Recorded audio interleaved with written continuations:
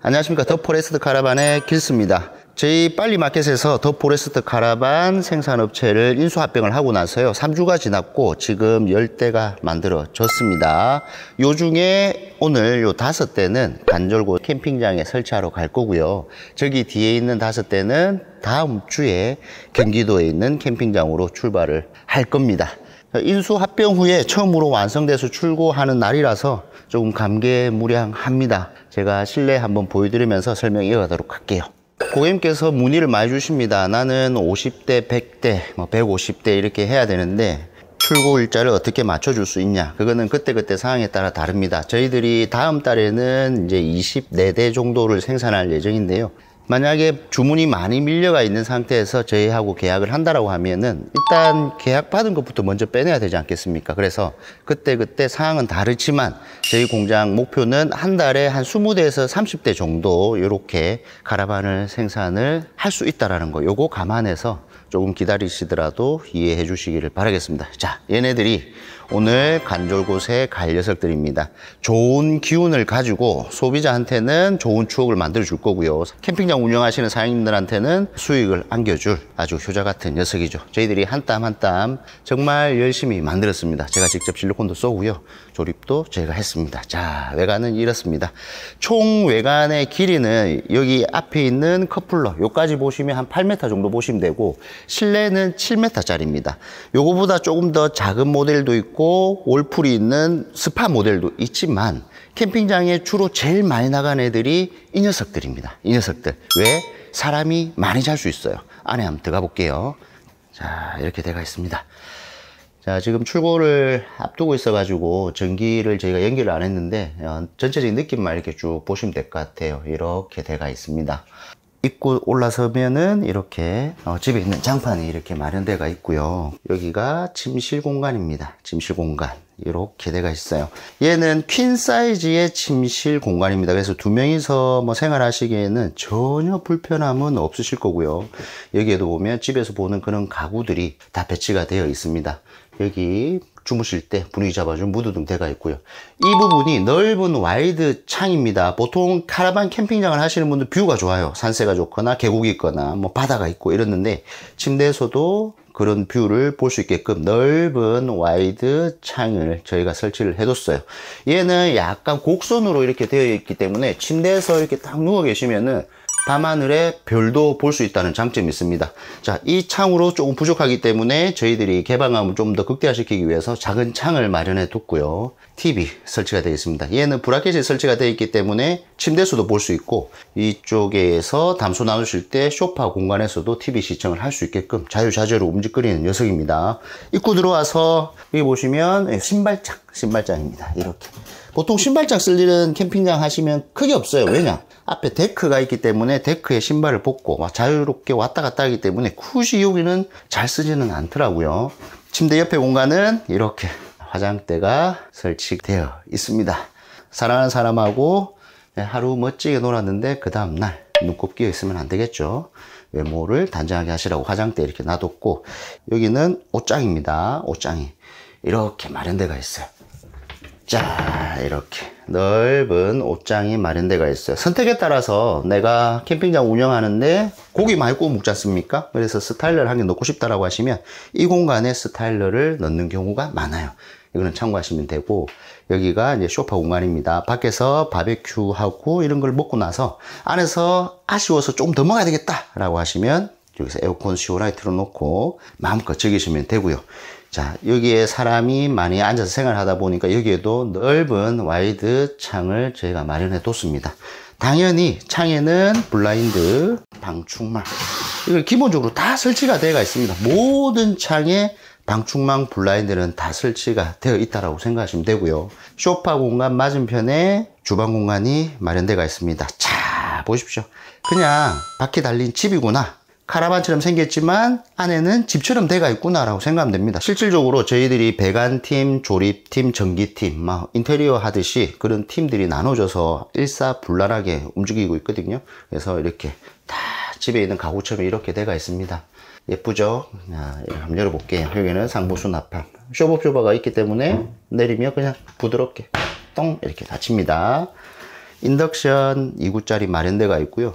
후드도 설치가 되어 있고 싱크대, 싱크볼 설치가 되어 있고요. 하부 수납함도 집에 있는 그냥 싱크대 하부 수납함 느낌으로 되어 있다라고 생각하시면 됩니다. 냉장고, 냉동, 냉장 분리되는 냉장고 설치해 뒀고요. 얘도 메탈 재질로 해서 굉장히 좀 포인트 있고 예쁩니다. 자, 이쪽 공간은 지금 매트리스를 이제 깔아야 되는데 2층 침실 공간입니다. 제가 앞에서 말씀드렸지만 캠핑장에서 이 모델이 왜 많이 나가냐면 캠핑장 오시는 분들은 두 명이서 오시는 분도 있겠지만 가족 단위로 오시는 분들이 많아요. 그래서 이런 변한 침대에서도 사람이 잘 수는 있지만 조금 좁습니다. 그래서 일가족이 한 4명 기준으로 봤을 때 아이들은 2층 침실 공간을 너무 좋아하니까 여기에서 한 명, 한 명 자고 부모님들은 여기에서 두 명 이렇게 하면 네 명은 충분히 편안하게 즐길 수 있기 때문에 이 모델이 제일 많이 나가는 거예요. 사실 이런 2층 침대 같은 경우에는 좀 답답할 수가 있거든요. 그래서 저희들이 2층 침실 2층에도 창문을 한 개 달아줬고요. 당연히 방충망 블라인드 다 설치가 되어 있습니다. 그리고 1층에도 방충망 블라인드 다 설치를 해놨습니다. 괜찮죠? 자, 캠핑장 가게 되면은 보통 이제 이 공간이 220V 콘센트하고 다 있죠. 여기에 밥솥이나 전자레인지라든지 이런 걸 두고 장사를 시작을 할 것 같습니다. 화장실 공간 살펴보겠습니다. 자, 정박형 카라반은 로드형 카라반하고 다르게 화장실이 압도적이죠. 자, 저희들은 화장실 진짜 넓게 뺍니다. 자, 화장실입니다. 이렇게 돼가 있어요. 전기를 안 꼽아서 조금 아쉽긴 한데, 저 전체적인 느낌만 좀 보시면 될 것 같습니다. 자, 집에서는 양변기 설치가 되어 있고요. 세면대도 집에서 보는 거죠? 거울 설치가 되어 있고, 샤워기, 상부 수납함, 수건 넣어놓으면 됩니다. 그리고 환기할 수 있는 환기 팬도 설치가 되어 있고요. 화장실도 꽉 막혀 있으면 안 되기 때문에 창이 이렇게 마련되가 있습니다. 넓은 화장실이 마련이 되가 있어요. 딱 보시면 아시겠지만 진짜 집을 그냥 바퀴 위에다가 그대로 옮겨 놨다라고 생각하시면 될 것 같습니다.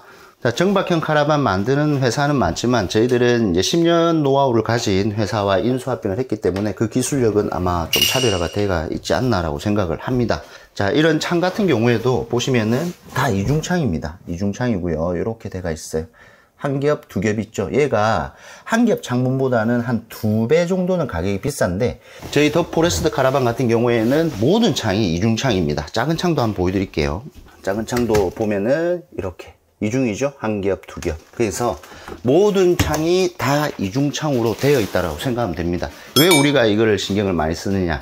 사실 결국은 카라반은 단열입니다. 저희가 단열에 진짜 신경을 많이 쓰거든요. 창문은 모든 창은 이중창으로 했고 바닥 같은 경우에도 저희가 일반 전기 필름 이런 거 쓰지는 않습니다. 무전자파 건식 온돌 시스템을 쓰기 때문에 여기에 열선하고 돌가루들이 쫙 깔려 있다고 생각하면 됩니다. 그래서 내구성 정말 좋고요. 온도 올라오는 것도 금방 올라옵니다. 그래서 겨울에 캠핑을 하시다가 아우 추워 해가지고 하시면 들어와 가지고 여기에 스위치 한 번만 누르면 금방 따뜻해지고요. 그리고 저희 카라반만의 단열 장점이 있습니다. 저희들은 결로가 거의 없다라고 생각하시면 됩니다. 자, 전면하고 요 안쪽 내부에 이렇게 한 요만큼의 공기층이 형성이 돼요. 저희들이 여기에 우레탄 폼도 쏘고 방수천도 씌우고 테크노론에서 마무리까지 다 하지만 FRP하고 그 마감해 놓은 그 사이에 한 요 정도의 공기층이 생기고요. 천정도 마찬가지입니다. 천정도 공기층이 형성이 되어 있어요. 뒤쪽 판도 마찬가지입니다. 그래서 차가운 공기와 뜨거운 공기가 만났을 때 그냥 바로 만나버리면 결로 현상해가지고 물 생기고 하는 현상이 생기지 않습니까? 하지만 저희들은 결로 현상이 없고 이중 공기층이 또 있기 때문에 단열은 전혀 걱정하셔도 된다라고 감히 말씀을 드립니다. 이쪽 양쪽 측면은 GRP 판넬 우레탄 폼 200ml를 50ml 압축한 게 딱 들어가 있고요. 하부 같은 경우에도 우레탄 폼으로 해서 다 마감이 되어 있습니다. 일반 어떤 정박형 카라반 만드는 업체 보면은 그냥 여기에다가 어, 방수나무 뭐 그런 게 있습니다. 그런 나무로 해가지고 대놓은 경우가 있는데 저희들은 그렇지는 않아요. 하부 한번 보여드릴게요.